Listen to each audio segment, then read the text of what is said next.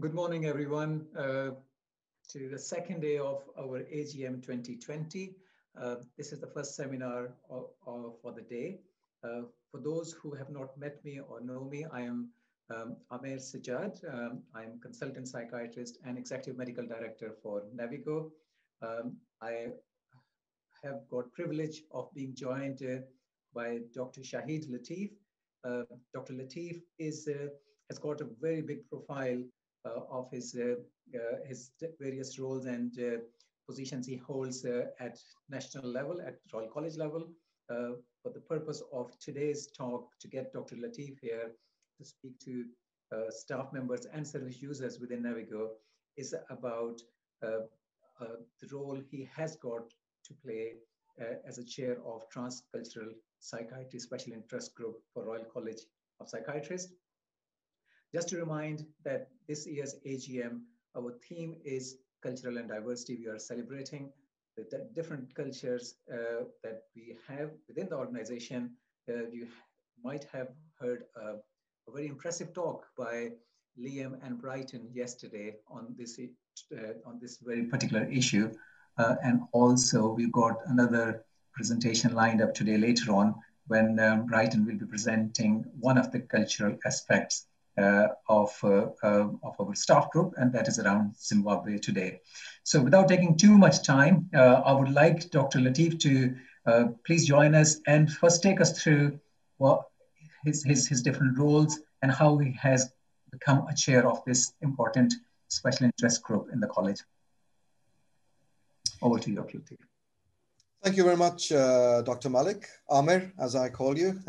Um, for the uh, for the kind uh, introduction. Um, yeah, what, what, what I'll do is I'm, I'm, I'm basically I'm a, a, consultant psychiatrist and clinical director working in Northamptonshire, and um, I also chair, as Amir has highlighted, the Transcultural Special Interest Group. What I'll do in this presentation is just give a bit of an oversight as to the importance of culture, meaning, understanding, communication, and also give a bit of my journey as to why I uh, developed an interest in culture and my journey becoming the chair of the Transcultural Special Interest Group and why I think it's important and what the college is doing and obviously also relating to that some of the work with which Amir will be chipping in as well in relation to Navigo and its role and its responsibilities and some of the work that it's been proactively doing, like for example, today's at the AGM and also the conference that's been arranged by Navigo Care. So uh, I think these are really, really important, and we'll touch on these over the next um, over the next half an hour.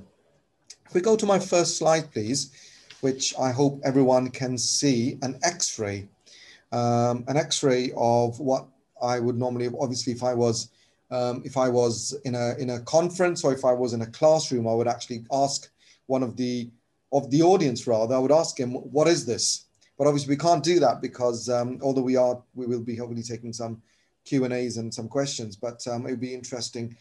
Uh, it's normally we get interesting responses. Now, as you can see, this is an X-ray of what seems like a abdomen with butterflies inside them.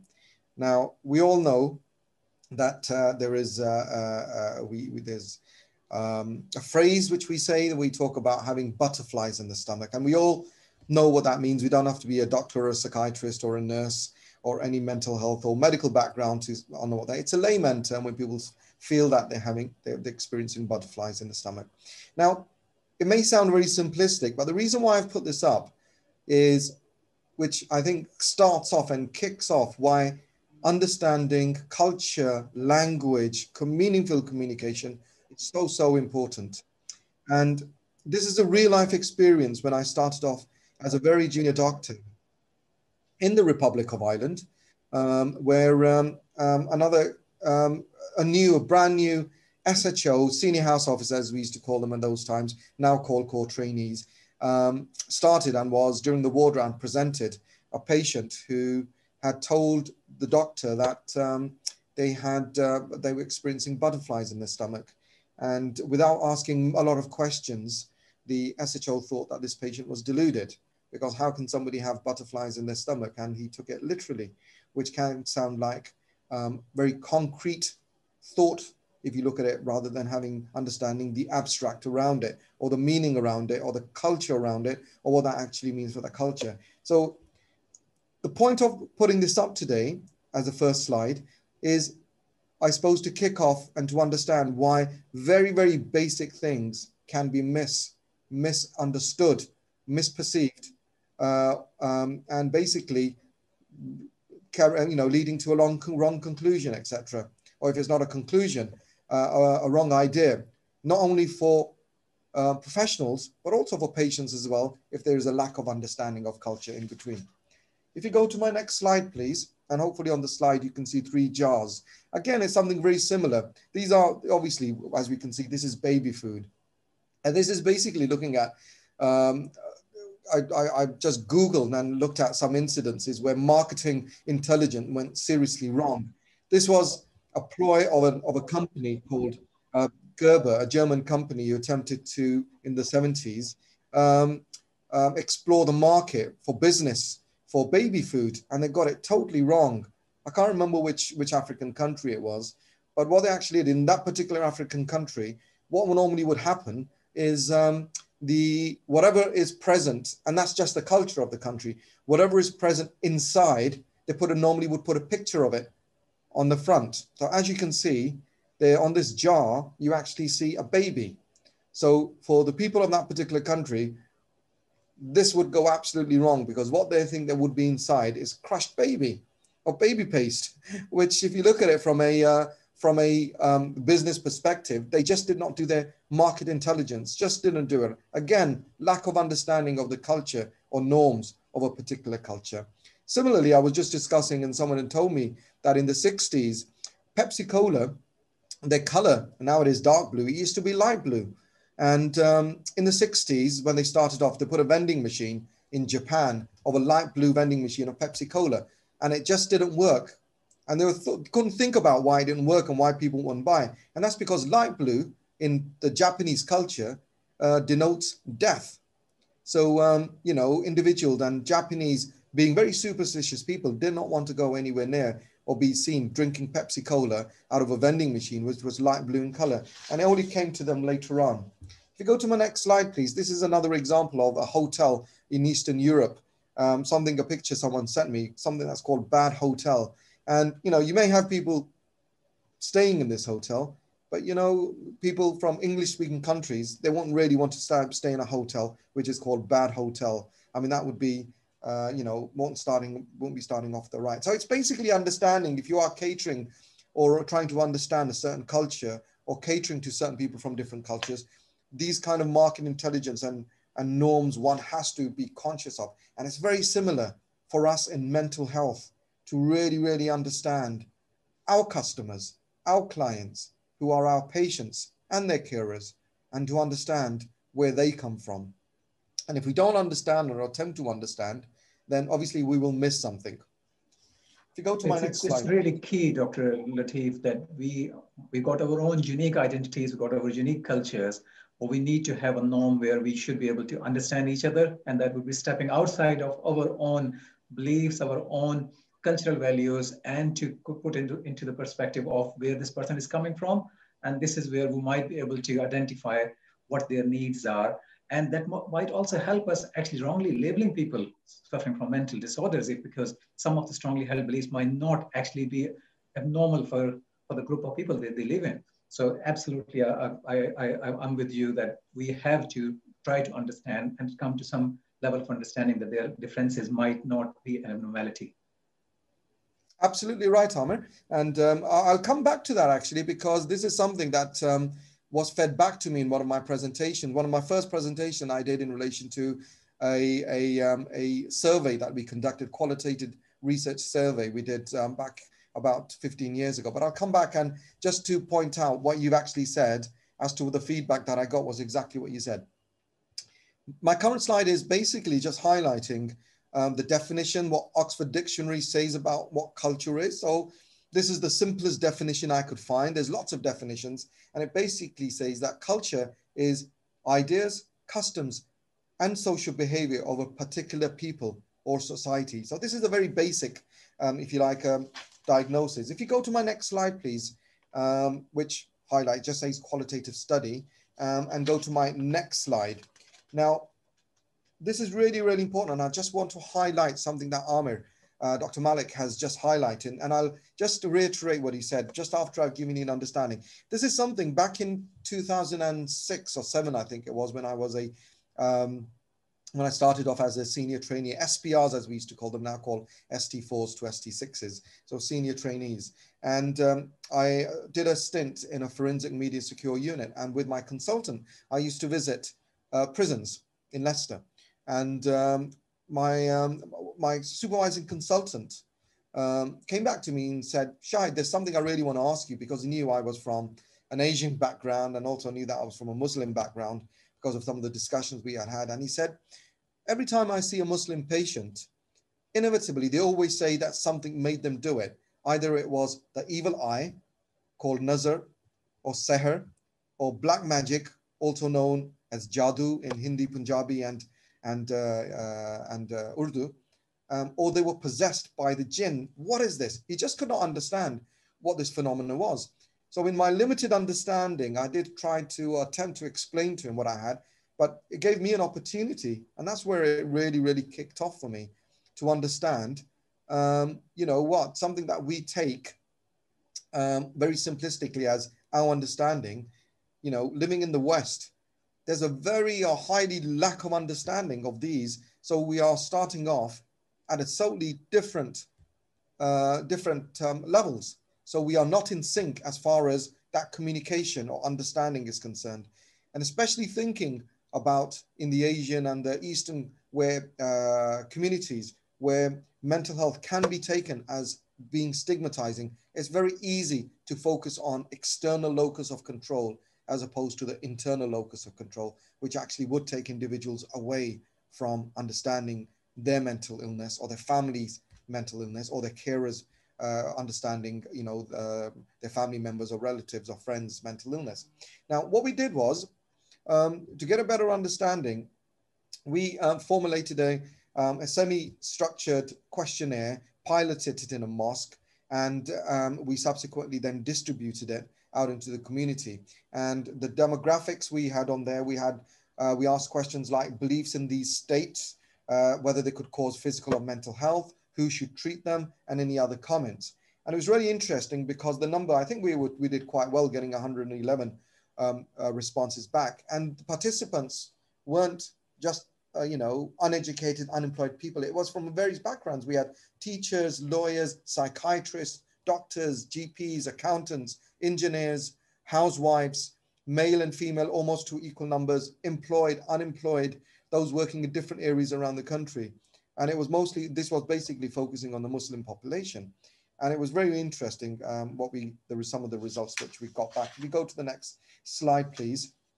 And some of the things that people said, majority of almost 100%, said that they believed in these states. And the reason for these was because it's mentioned in the Islamic scripture.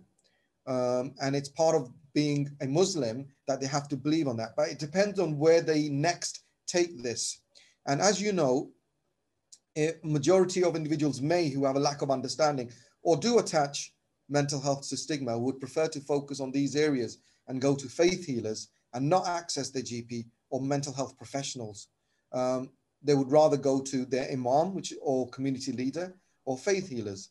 And when, when we asked them why that would be, some of the things they mentioned was things like they would feel that they would not be understood, there would be a, a communication barrier, they could be seen as being superstitious, they could be seen as not being understood. And uh, we did ask them also that what are the presentations that you one could present with if they are, uh, you know, possessed or if they do or if somebody does perform black magic on them or there's some evil eyes cast on them and some of them spoke about what in our terms we term we understand as somatic symptoms you know? Um, and also something which in the western concept we call pseudo dementia you know? Um, and they said that some of these causes of these is due to black magic is due to evil eye and possession states. And the jinn if some of you don't understand the jinn jinn, jinn is an entity uh, which muslims and other culture i was just talking to one of my uh, the pastor this morning in our trust today because of another patient, and we were talking. And there's a lot of similarities. Um, begin believing in the entities of not only human beings being an entity, but there's the angels and the third entity being jinn. And these are part of the religious belief for Muslims, what they believe in. And for them, it's just the norm. Where they, where they then take these and how utilize these is very variable. Sorry, Dr. Malik, I think you were about to say something. No, no, absolutely. I, I think being possessed, uh, reading the literature, I think uh, uh, although in the third world countries, especially in Southeast Asia, I think there's a lot of predominance. Uh, I think the main issue is if people are not educated, they're not getting the right care and they actually get into the hands of quakes, as, as you said. Uh, that lead to more resistant treatment when it, it's delayed, as, as we know. So, uh, but yeah, being possessed, being possessed by a ghost or spirit or having a spell on, I think that's well established in, in the literature all, all around. Uh, but the thing is how to educate people to not actually take it that this is this is going to go away by actually getting a bit of meditation. It needs a proper care. Absolutely, and, and I think it's really really great, uh, Dr. Malik, that you know part of your AGM, you have included culture. And when you say the question, how do we educate? This is one of the ways of doing it, you know, exactly. and this is absolutely, and I think we need to be doing more of this, um, you know, to different trusts. And I'm really grateful that Navigo Care has really taken this initiative to, you know, have give the opportunity to share um, the understanding. Now, if you go to my next slide, these are some of the comments which came back uh, which talks about lack of understanding, why people thought that they would not want to access specialists. And as already highlighted, some of these, it could be due to lack of understanding. They could be seen um, as being superstitious or backward, or there would be a language barrier. So these are things which actually stop individuals from accessing mental health services. As we all know, and as Dr. Malik has highlighted, you know, if there is a delay in access, that means the condition, the underlying mental health condition, can get worse. And we are all aware of the term DUP, duration of untreated psychosis. And the longer the duration, the more resistant it is to treatment. And, you know, patients do end up on clozapine because they are felt or seen as being resistive rather than being caught on time. Um, so these are some of the barriers and some of the comments which came back and some of the challenges that are that we face as specialists and professionals to really be conscious of. Now, I did present this paper um, as, and just going back to what Dr. Malik had said earlier on about, you know, us professionals being aware. I went back and presented this paper because I was an SPR at the time, or this the outcome, to my SPR group. And there were about uh, 25 to 30 SPRs in the trust at the time. And they were just astonished by what I was saying. And the reason why, they were astonished is because they had never thought of during their consultations with patients to even even consider that when patients sitting on the other side of the table, when they're asking them these questions, especially when they're from different cultures, that what they are actually saying could have a totally different meaning to what the specialists is being is is trying or attempting to understand from their own training, from a Western concept of mental health, and you know the Western cultural understanding of mental health. But actually, it, there's a bigger picture out there and a bigger understanding if you go to my next slide, please.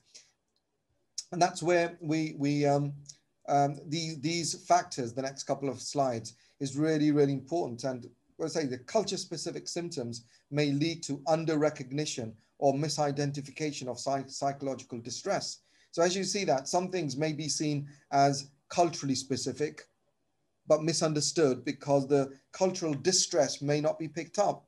And if you go to my next slide, it could be the opposite as well, where somatic symptoms serve as cultural idioms of distress in many ethno-cultural groups, and if misinterpreted by the clinician, may lead to unnecessary diagnostic procedures or inappropriate treatment.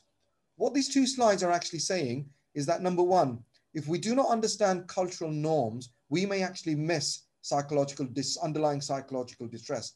And converse to that, if we do not understand culture, we may unnecessarily, we could unnecessarily um, put somebody in a box and put them into a diagnostic kind of a um, area, which may not be necessary and unnecessarily treating them when we haven't understood where they are coming from. So there are two aspects. So these two reasons for these, um, these two slides are really, really important. If you don't take anything away today, please do take away these two slides because they're really, really important.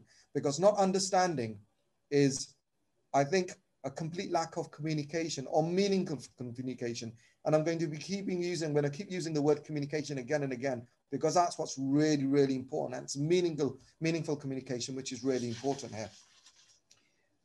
That takes me on to my next slide and gives me the opportunity to um, introduce uh, the, um, uh, the Royal College of Psychiatrists, uh, special interest groups. Now, subsequent to the interest that I developed in culture and mental health from 2006 onwards, I did become the treasurer when I heard about the Transcultural Special Interest Group, and I was with them for a little while. Um, and then uh, about four or five years ago, I heard that um, uh, that uh, there was a chair position, and actually, I'm going to blow um, Dr. Malik's trumpet that he actually prompted me. I can still remember he, uh, he he sent me an email, Shahid, that there is um, a position, and he knew my interest in culture and mental health, and he said there's a position you should actually apply. And I said, Amir, I've missed it, and I actually applied. It wasn't an election, and thank you to Amir's prompt. I actually uh, was elected as the chair, and I will be the chair until the middle of next year. So thank you, Amir, for that. Thanks, uh, uh, Dr. Latif. And yeah, you brought me as executive into the group as well. So in return, so uh, yeah, I, I think I, forgot to mention, I'm actually part of the executive committee uh, for Transcultural SIG. Uh, I know you, you are going to be talking about what SIG does, but yeah, um, I think this, it's been a mutual understanding. We, we did think that there is a there's, there's a lot that we can do for our organization, especially from Navigo. We are situated in a, in a part of the country which is predominantly not having a lot of uh, uh, culturally diverse population and the staff up until recently. But from more recent figures, it does look like that uh, our staff number, possibly anything between 9 to 10% of our staff are from ethnic uh, minorities, which I think is a major, major shift. And there's been a lot of the uh, work that's been done by Navigo's overall staffing, overall community, and especially the senior leaders uh, like, uh, like the chair and chief executive and director of operations to promote more ethnicity, uh, ethnic diversity in the organization because we are actually seeing a lot more people moving into the area and we are actually coming across being able to kind of offer them treatment and care. So for my, me to step into that role and also for yourself, I think it comes on the background that we all wanted that our different staff members as well as our service users get represented, have, have a voice at, at national level, and we should be able to educate back our local services how to possibly do best kind of care for them and also provide support to our own staff. Absolutely. Um, I couldn't say any, better, uh, Amir. Um, you're absolutely right. So the Royal College of Psychiatrists, they do have uh, different um, platforms. They have faculties, they have divisions, and they also have what we term as special interest groups. Um, at the moment, there are 15, 15, uh, 15 special interest groups. If you go to my next slide, you'll be able to go through and see these 15 special interest groups.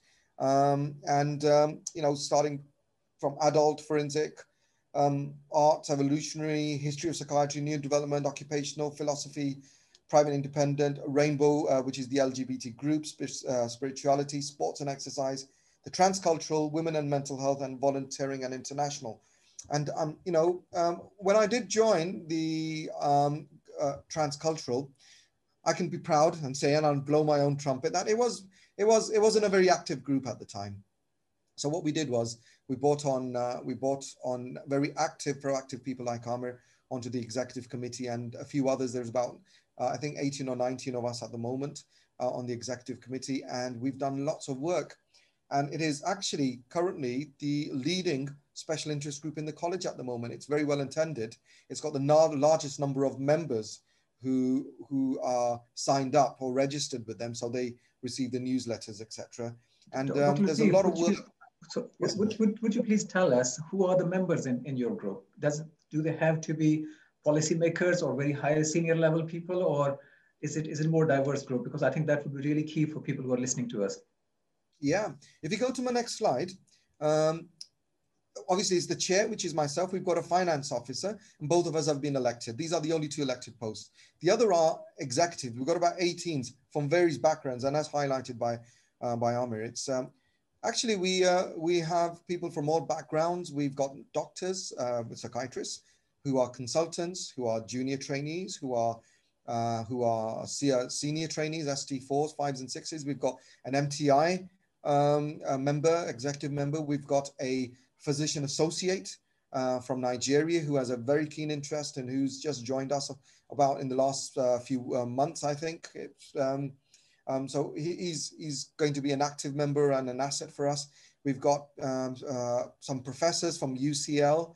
Uh, we've got some research workers. We've got nurses. Uh, we've got medical students. we've got nursing students as well. Um, so anyone who is interested, who's done some background work on culture and want to do some work going forward, and, and we brought them onto the executive committee. And um, I actually was, again, we were the first SIG, as we call it, the special interest group, who introduced non-psychiatrists or non-fellows or members or associate members of the college into the SIG. And other SIGs have now followed suit because it's really, really crucial that it's not just psychiatrists and doctors that we have on board. It's you know, individuals and professionals from different backgrounds who have done work, who are and are keen to do work with the, with the SIG, uh, with in relation to culture and mental health. So, so that's that's a, that's the background. That's what we have. It's normally a four-year term. Like I said, my term is coming to an end uh, next June, and we will. And I will remain a proactive member because of my interest in culture and mental health, and as will as as will Dr. Malik. If you go to my next slide, please. Um, so, what is the role of the Transculture Special Interest Group. My next couple of slides will just touch on what we actually do and what we've been doing. Um, so the Transculture Special Interest Group supports policy and practice to improve the care of socially excluded and marginalized groups where culture is influential in the expression and management of mental distress. Now, some of the work we have done, you know, over the last three and a half odd years, we've had communication, not only doing work for the college in influencing policy in relation to culture. And at the moment, it's really, really crucial. Um, we've, um, con considering how important the BAME community and, you know, Black Lives Matters uh, slogan, how important it is, and, you know, some of the incidences that we've seen uh, across, uh, across Europe and America, um, and how wide diversity and equality, how important it's become. Um, we've also, along with that, also have had um, done some work with the, with the Home Office, where they have looked at some of the cultural and mental health issues which they manage and deal with in relation to immigration and some of the processes that use how they assess during the immigration process. Um, and they have utilized our expertise not only of psychiatrists but of nurses, of psychologists, etc. Um, and only recently we've been contacted by the Department of Health in relation to the Pre Prevent program. And we've got a meeting next week, which Amir hopefully will be attending as well, how we can offer them our advice, because it is by a lot of people been a very controversial program. And we would like to, it's our opportunity to feed into that. And individuals like, you know, Amir and other specialists, nurses, doctors, occupational therapists, medical students to feed in, offer their advice. So Amir, I think you were going to say something about that, weren't you? No, absolutely. I, I think this is, uh, my, my point was uh, that we are actually looking at the care and uh, of excluded group as, as such. But I, I think uh, now the world has changed and people are actually getting a lot more aware of different cultures and, and, and, and needs. But beyond the cult, beyond just the care of our service user, there is a lot of policy related work which I think is important. And as, as, you, as, as you mentioned, prevent, there was also something to do with uh, race and equality uh, stuff that, that happens at GMC, the Medical Council. Also, uh, uh, there have been quite a few diaspora leadership uh, groups which are uh, happening across, across the country. and my query was coming into how could SIG or Navigo as part of that SIG can be part of those, those projects.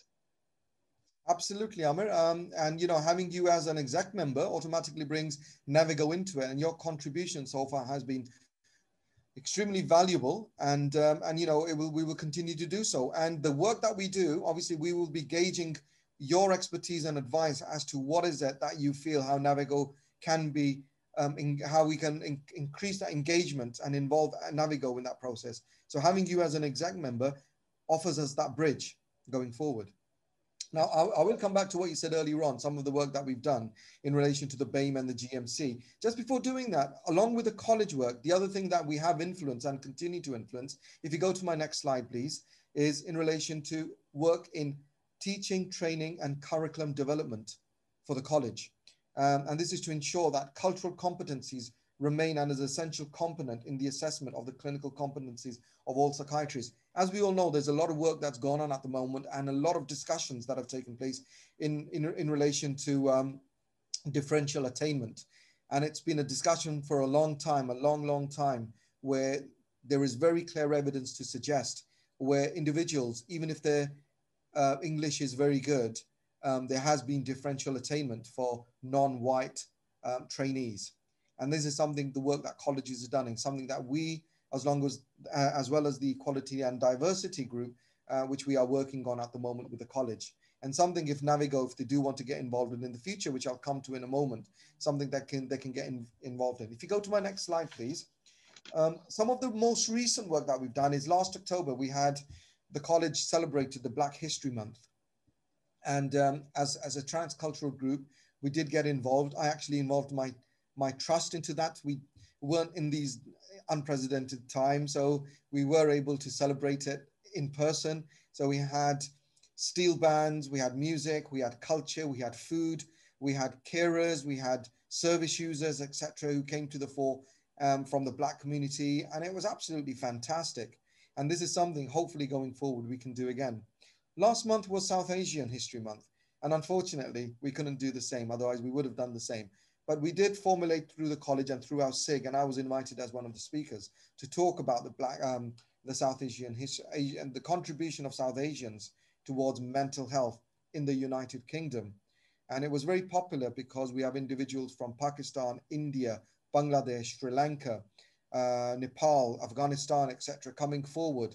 And big names and national names and international names have really, really contributed towards mental health, not only nationally, but internationally as well. So it was really, really uh, an interesting process. The other one was race and equality. Our current president of the Royal College of Psychiatrists, um, Dr. Adrian James, has, has, has appointed a presidential lead for race and equality. Um, and they are going to be doing a lot of work. And I would actually urge Navigo Care to feed and develop links with them because one of the things that I've actually asked them to do because they will be collecting a lot of data, local data, but I've also would ask Navigo Care to link up with uh, with um, with the president of Royal College of Psychiatrists uh, because he's taking a special interest and used this as one of his priorities.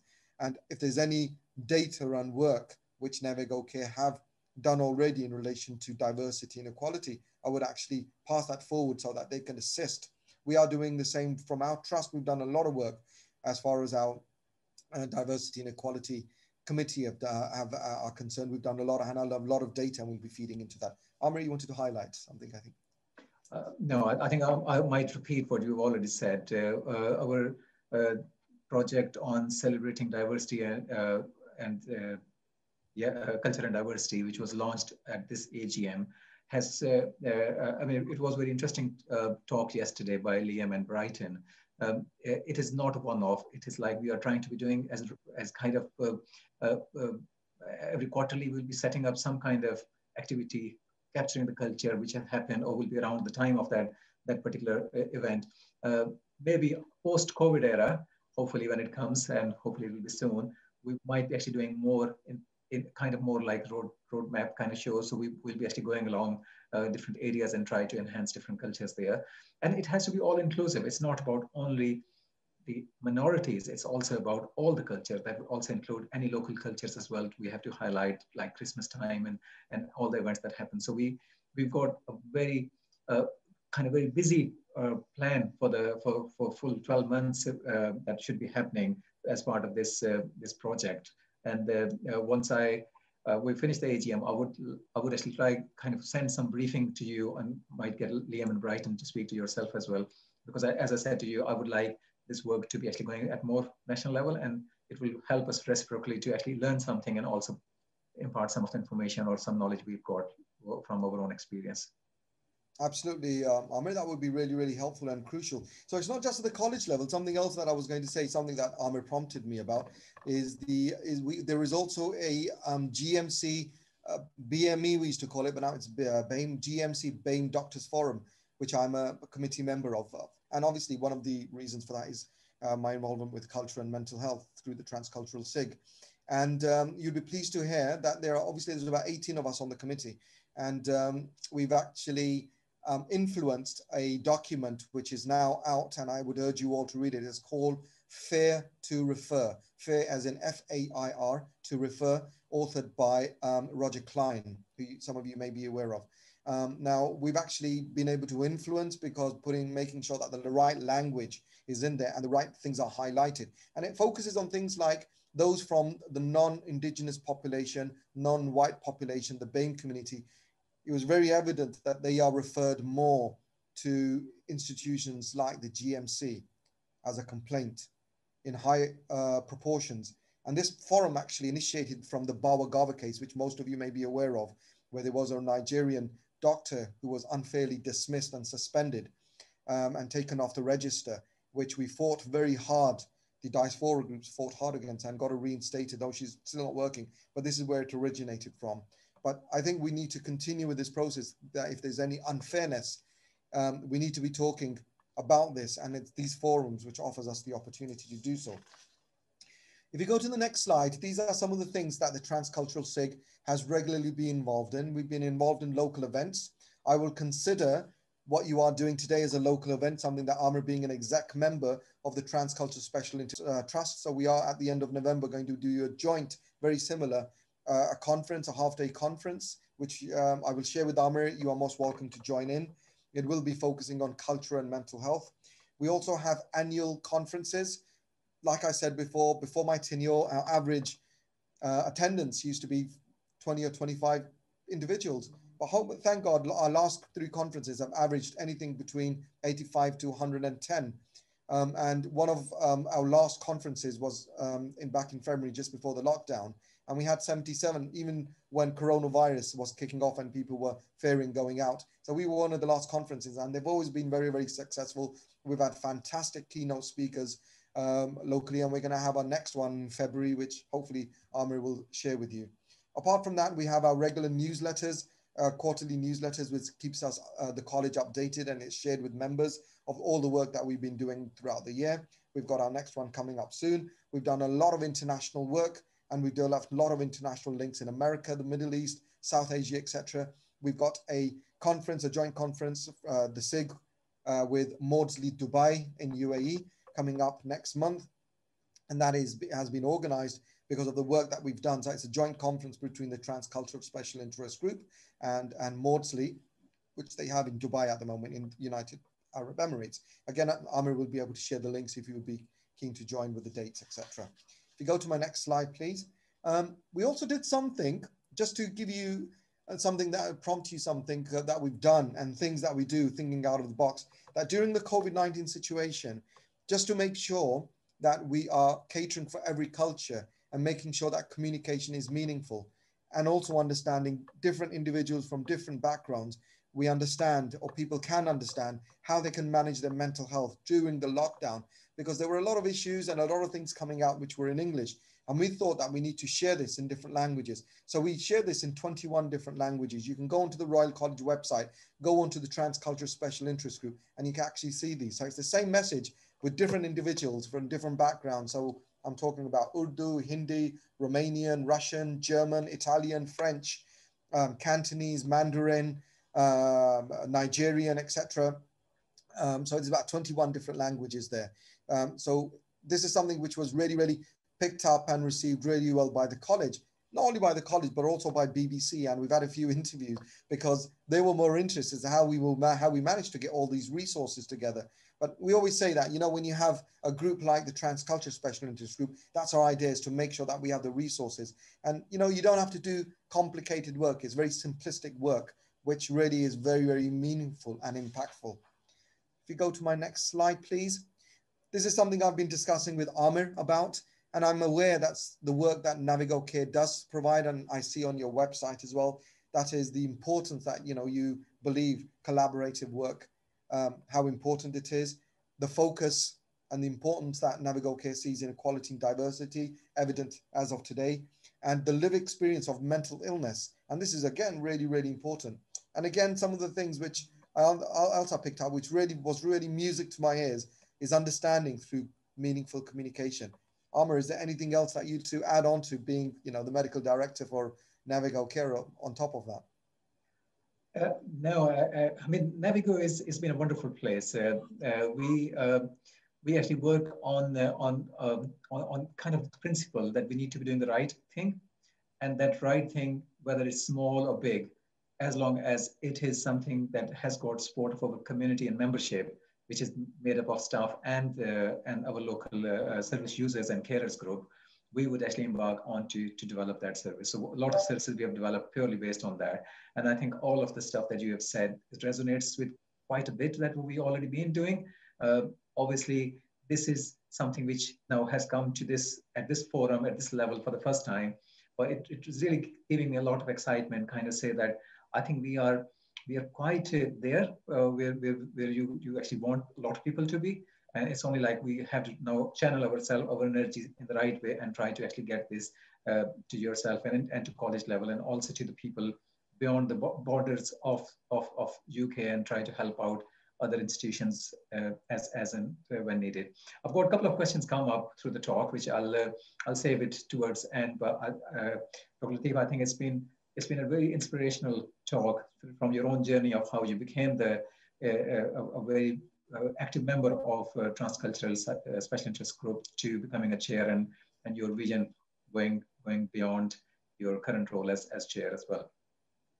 Um, if, if there is anything else that at your end you haven't got, I, I was just thinking about, uh, you, you mentioned some of the anecdotes uh, about different presentation that might be labeled as a, as a disorder or that might not be recognized because of the communication barrier. So I think that is really important. And, and from the trainees and doctors uh, who are actually possibly listening to this or might listen to this talk afterwards as a, as, as, a, as a recorded video, there are quite a few cultural syndromes that we have read in the literature and we have come across uh, in, in our practice as well.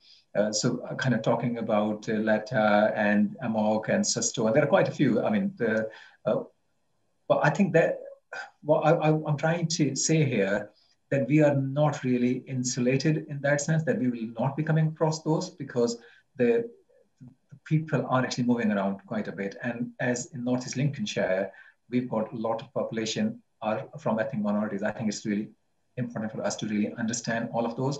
I, I can talk of one of the anecdote myself that we had somebody that we, uh, uh, we uh, through repeated clinical encounters, we thought possibly this person uh, needs some management for an affective disorder, possibly they are on the high side, but spending more and more time with them, we did understand that culturally that was from a population where people would generally be a bit, uh, bit, bit loud or they would like to communicate in a way that might come across as not very norm for this population, but it is norm for them. So when talking to other family members, uh, it, it does it did transpire that well, this is how the family makeup or all the cultural backup is. So it's really key that we should we need to be understanding uh, different cultures. Um, just to kind of say, in, within uh, uh, Navigo, we we have done quite a, quite quite a bit of work, as I said to you earlier, that we have been doing things, but now it is coming to more forefront because of different changes that has happened with the with COVID and also with the Black Lives Matters and uh, and similar other stuff. Uh, we have recently set up our BME network. Uh, we had a first our first meeting uh, a couple of days back, uh, led by our chief executive, Jane Livington, and joined by our head of workforce, Richard, myself, and also by Freedom. So we would actually like our staff members and uh, at, at, at, at, at, at, a, at, at later stage also our community to be able to bring issues to us uh, to myself, to Freedom, to this network. We'll be doing a lot more advertisement on how this network is going to be working, but this is going to be fortnightly event that we'll be holding ourselves uh, to start with, but this will become a lot more streamlined. We are in early phase, but this is something that BME network would be aspiring to, that we should be there everywhere and people should be able to bring, bring any issues they got uh, uh to, to, to the forefront. Okay, I think I'm just mindful of time. Uh, I've got a couple of questions that have come up, Dr. Latif, if you want to take, and it's about your work and also about transcultural SIG. Um, the first one is, uh, I think it's quite accepted. Uh, I, I, I, I, thought that this would be something which is very normal for Navigo. Uh, a question is, uh, in the SIG, do you have any representation from service users or carers group? Um, we haven't. Is it something at the college level? Does it happen? Um, at the college level, we always, when we do have conferences, etc., there is a separate forum where we do get, um, there are certain uh, picked number of individuals from a service user carer perspective. We don't have any on the executive, but actually that's got me thinking, and I don't think that's a bad idea. It has is something that we have been thinking about in the past, but I think this is something we would need to do going forward because um, getting that perspective would offer us a all-round perspective. Although we've got individuals from different backgrounds, professional backgrounds, I think that would be something to have on the SIG as execs would be really, really crucial. Having said that, obviously we've got, um, we have been involving in our, in our conferences, um, uh, patient and carers, um, but I think on exec level, we haven't done that as of yet and something that I think we wouldn't really need to seriously consider and think about. That's great. Thanks, Dr. Latif. And then a quick question has uh, come from uh, the work you've done about, I think it was your study. Uh, so I'm going to read it out to you. Did anyone in this study happen um, to comment on whether their spiritual leaders were supportive in accessing them healthcare if they felt it was needed? Or did they often try to heal these within the faith? Um, it's very interesting, and that's a it's a really fantastic million dollar question. Um, some of the things which we got back, I mean, there was a lot of sensible people. Just to just to give a background, that when we were conducting this survey, when I did say I did try to educate myself, myself and Tim, and me myself as well, we did go around and meet quite a number of Islamic scholars. We did go around meeting quite a few faith healers, and we did go around talking about a few community leaders to get just get. And there was a mixture.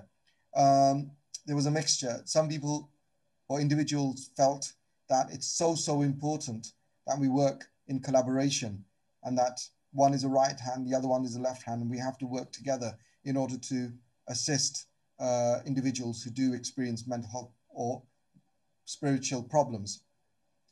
While they were to the other extreme where individuals felt, and I do remember a comment, one of the faith healers saying to me that, well, if you ever need a help, you can come to me because you need me, but I don't need you. so, you know, so it's one ex and anything in between. So the, it is variable. What I would say is that um, we do tend to follow a very Western concept of mental health delivery of service, where we do follow the biopsychosocial model of of of of, uh, of treatment protocols. Um, but I would urge, um, you know, you don't have to be religious to do this, but it's really important being professionals to understand the biopsychosocial, spiritual, cultural element of individuals when we do embark and when we do when we do talk about the social element, culture is so important there. You know, spiritual is so important for many people. It may be important. We shouldn't just assume that they are. That's you know that's wrong as well. But we shouldn't assume they are not either because you know a lot of people do benefit do benefit from talking and part of our uh, what something that we do in the college level and at local level, at trust levels, we do talk about is social prescribing. And when we do talk about social prescribing, it's really important that we do bring the spiritual element to that. It's important. We have patients. I cover a rehabilitation ward in my trust, and you know at least a couple of patients are finding it very useful uh, with the input of the pastor and chaplaincy. They regularly meet them, and that's part of their treatment protocol. And without that, I think they would struggle, even with you know just the biopsychosocial approach. So I think it's really, really important that we have an all-round holistic approach towards treatment. Thank you. Um, just looking at uh, uh, our uh, comms team, if they've got any further queries come up, uh, to my knowledge, that was the only thing that I was passed on to. Um, Christina or Bradley, if there's any other thing in, in your chat box or, uh, okay. Well, on that, thank you so much, Dr. Latif, for giving us your precious time. I know you are in a very busy clinical work as well at, in Northamptonshire. Um, I would formally once again like to invite you to come to Navigo. It's been a few years since you last visited us, and uh, you would uh, uh, definitely see that uh, where, where, we were uh, a few years back, we've definitely developed a lot more than what already was there. And, and, and the compliment I received from your last visit were also quite enriching for, for us. I think at this time, I would really welcome your uh, your your suggestion about getting uh, service user or carers rep onto the exec group because this is what Navigo's uh, ethos is. We actually want to let by by the services, and I, I, think I think this is really positive. Um, think uh, it's, it's a busy uh, schedule for for the uh, for AGM. We've got another 10 minutes and for the next talk. And at the, this time, I don't think so. Without having any further question, we would like to close this talk. Dr. Latif, once again, thank you very much for your precious time. And uh, I hope to see you soon in some other talk at Navigo uh, as well. Uh, so thank you again for, for making yourself available today. Thank you very much. And thank you to yourself and Navigo for inviting me. It's been a pleasure. Thank you. Bye.